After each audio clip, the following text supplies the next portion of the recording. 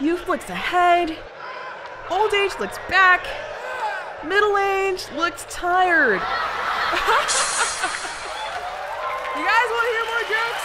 Why is six afraid of seven?